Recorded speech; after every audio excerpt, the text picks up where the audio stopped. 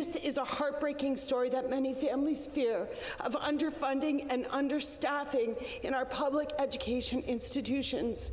Premier, what steps will your government take so that what happened to Landyn never happens again?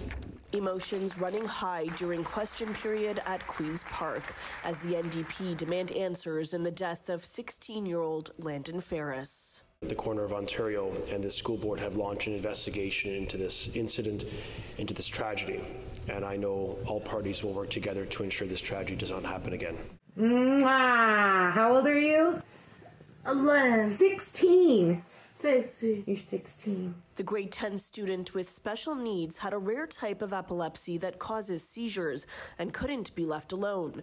But it's alleged that he was unattended on May 14th when he was found unresponsive in a sensory room at his high school in Trenton. I think the education system sadly failed Landyn.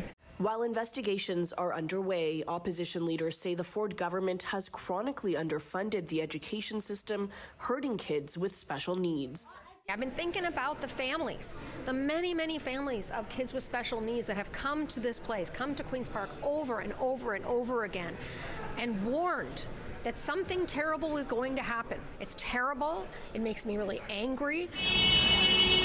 That anger is widespread, with parents honoring Landyn at a rally this weekend for more special education funding. That kid had a future.